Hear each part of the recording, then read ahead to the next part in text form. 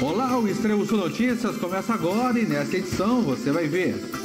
Mesmo diante da pandemia, o uso de máscaras continua questionado.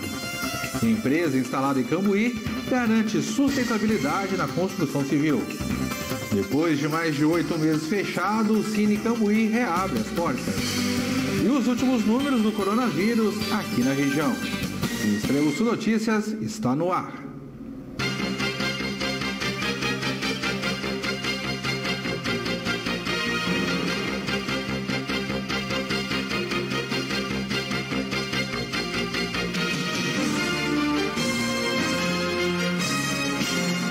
Começamos esta edição apresentando uma reportagem a respeito do uso de máscaras nesta pandemia. Já é mais do que provado a eficácia na utilização do equipamento para evitar a transmissão do coronavírus.